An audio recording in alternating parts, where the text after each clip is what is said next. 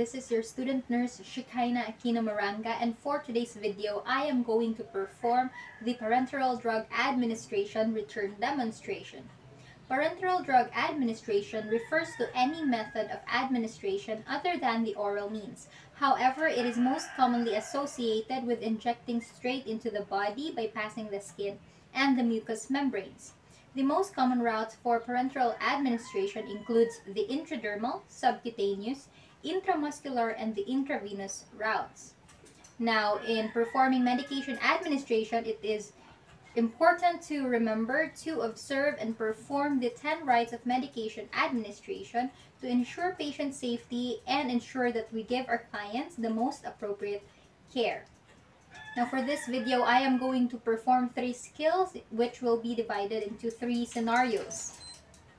The first scenario will include medication administration through the intradermal route. The second scenario will include medication administration through the subcutaneous route. And the third scenario will include medication administration through the intramuscular route. Now, these three scenarios have the same preparation phase, and so I am going to perform it at once to avoid making this video unnecessarily long. So now I am going to begin. Before we actually proceed with the actual um, administration of the medication to the patient, the first thing we would want to do is to check the doctor's order and the medication administration record. This is done so that we'll be able to identify what drug is to be given to the assigned patient. Um, we have to determine the drug's name, the dosage, the route of administration, and the time it is to be given. Now, um, after doing that, we also have to um, check the label of the medication against the medication administration record to ensure that we are going to prepare the right medication. Now in uh, medication administration, it's, it is important to um, perform the three checks. We'll have to check or read the label of the medication when it is taken from the medication cart. We'll have to read the label again before withdrawing the medication and we'll have to read the label again after withdrawing the medication. So after doing that, we'll have to proceed with the preparation of the equipments needed to conserve time and energy. The equipments include um, the syringes. I have a tuberculin syringe, I have my insulin syringe, and a um, 5cc gauge 23 syringe. I also have my aspirating needle. I have my hypodermic tray and a forceps. I have my alcohol. I have my sterile water, which will serve as a medication for this demonstration. I have cotton balls soaked in a 70% alcohol and I have my waste receptacles over here and I am going to proceed now with the preparation of the medication. Now I am going to proceed with the preparation of the medication from a vial. So um, before I do that, I am going to perform hand hygiene to observe um, appropriate infection prevention procedure. So if the medication still needs to be reconstituted, then um, the vial would contain the powdered form of the medication and a diluent must be added into that vial. After adding a diluent, we must mix it thoroughly by rubbing the vial in between the palms of both our hands. Now, after doing that, I am going to um, prepare the um, syringe. Um, I have here a tuberculin syringe. This is ideal for um, skin testing and intradermal injections. So I'm going to open the packet. Um, we, it is important to remember that we can only touch the barrel and the plunger of the syringe to avoid contaminating the needle. Now since um, this comes with a needle already, I am going to loosen it up first so that I can connect my syringe into an aspirating needle. I am going to open the aspirating needle and then connect the barrel into the aspirating needle. Ensure that the connection isn't loose and I'm going to set it aside first. I am going to open the covering of the vial. Okay, and then uh, the rubber seal is then exposed and so I am going to uh, clean it up using um, cotton ball soaked in a 70% alcohol.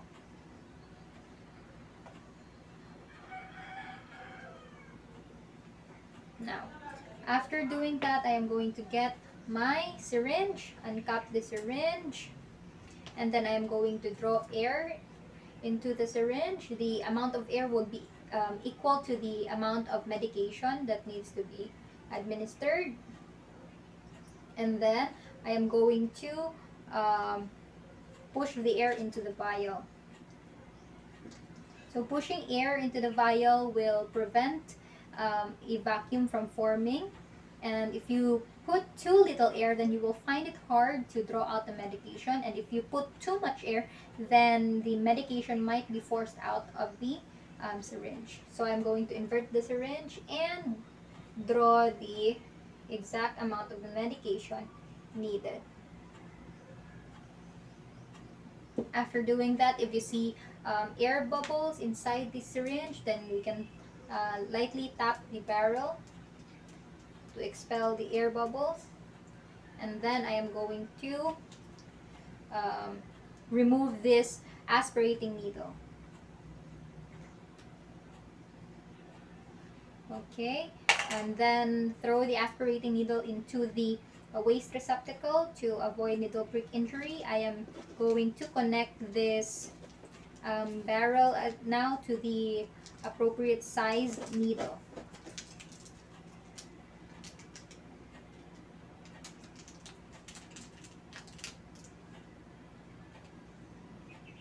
Okay, I am going to place um, this syringe with uh, medication into the hypodermic tray and I'm going to write the medication ticket so that we won't forget what medication it is, the dosage, and um, for who it is assigned to.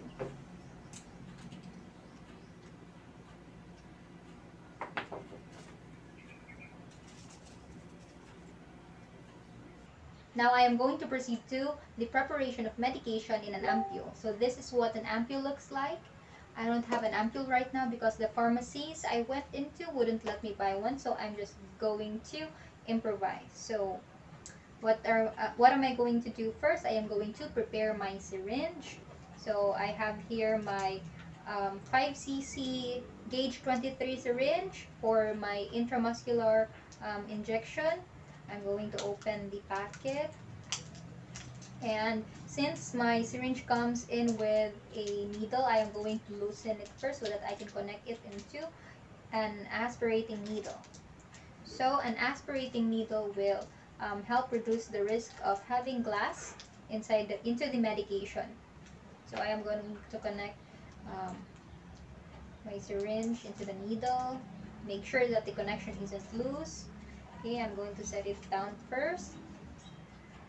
So with an ampule, what we would want to do is to uh, flick the upper stem of the ampule um, a, a couple of times first. After doing that, we're going to get a gauze or a cotton ball. Hold the cotton ball in between the fingers and the neck of the ampule and then break the ampule away from you and away from other people um, just for caution. Okay, after doing that, we're going to discard the broken neck of the ampule, set it down, then we're going to get our syringe, and then we are going to draw out the medication.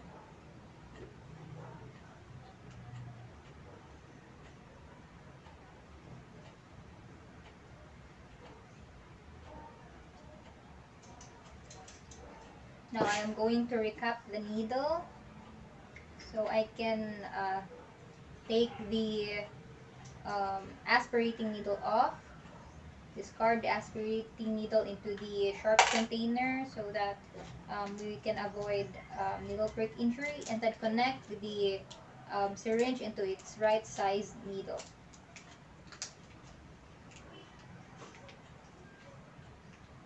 Now I'm going to place this into the hypodermic tray and then I am going to um, write the medication ticket.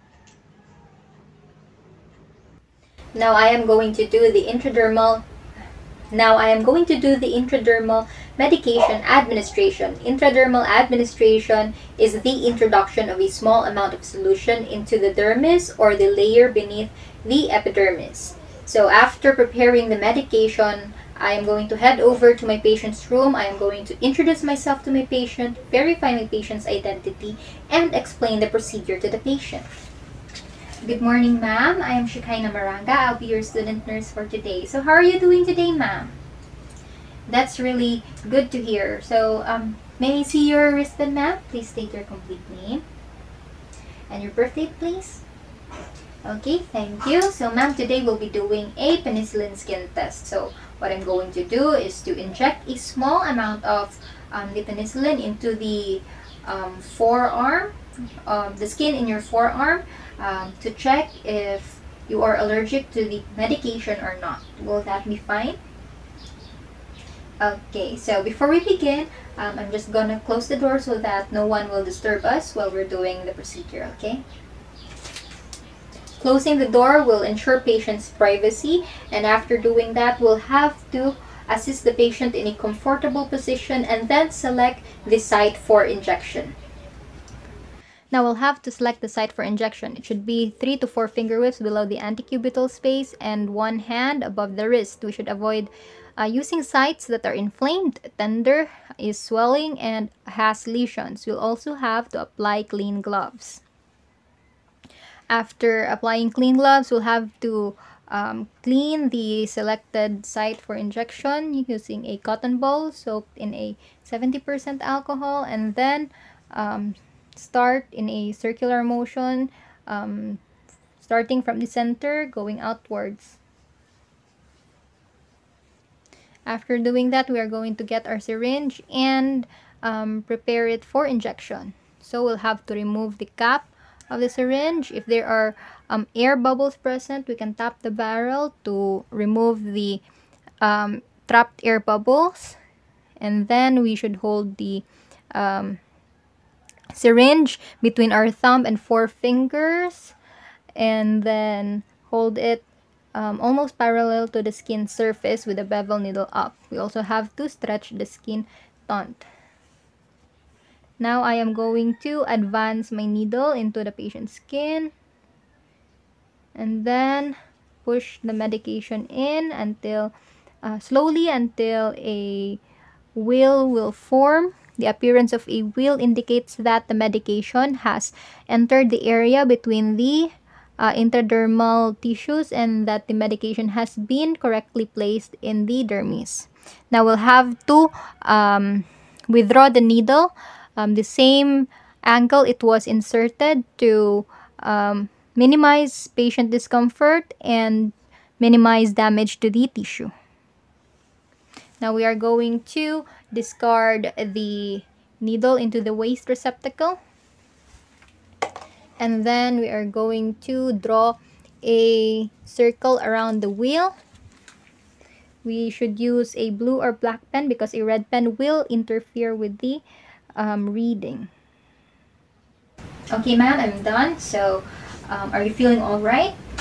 That's good. So, we will learn the results after at least 30 minutes. So, um, I'm going to head out first so that you can have some rest here while waiting, okay? So, just ensure not to massage the area of injection and do not erase the mark that I placed around it, okay? So, if you need anything, do not hesitate to call your uh, to use your call button so that I can come back here and attend to your needs, okay? After doing the procedure, discard the gloves used and perform aftercare of the equipment. Also proceed to the documentation process of the procedure. After 30 minutes, ensure to come back to the patient's room to interpret the results of the skin test. Now I am going to perform the subcutaneous medication administration. Subcutaneous administration is the introduction of a small amount of solution into the adipose tissue beneath the skin by means of syringe and needle. So after preparing the medication, head over to the uh, patient's room, introduce self to the patient, verify patient's identity, explain the procedure to the patient, and ensure patient's privacy as well. Good morning, ma'am. Um, I'm Shekinah Maranga. I'll be your student nurse for today. How are you feeling uh, today, ma'am? Okay, that's good. Um, I'll just check your wristband, ma'am. Please state your complete name and your birthday, please. Okay, great. So, ma'am, uh, today we'll be doing the um, administration of your insulin. Uh, insulin will help um, your body control your blood sugar as as you have um, type 1 diabetes. Okay, so I'll be uh, injecting um, your insulin in the subcutaneous layer of your skin over your abdomen. Will that be fine? Okay, um, so I'll just close the door so that um, no one from outside will disturb us while we're doing this, okay? After that, assist the patient in a comfortable position and then select the site um, for injection that is free of lesion, free of inflammation, swelling, or um, tenderness. Now for subcutaneous injection, we still have to select the site that is free of lesion, free of tenderness, swelling, or lesions, and then we'll have to apply clean gloves. After doing that, we are going to um, clean the selected site um, using an antiseptic swab, swab starting from the center going outwards. And then we are going to prepare our syringe for um, injection. So, um, uncap the syringe, pinch the skin, hold the syringe as if you are holding a dart, and then um, inject the medication into the patient. So we are going to inject the needle at a 45 degree angle. Now I'm going to release the pinch skin and then support the syringe and then push the medication in. And then after doing that, I am going to um, remove the um, needle, the same angle it was inserted.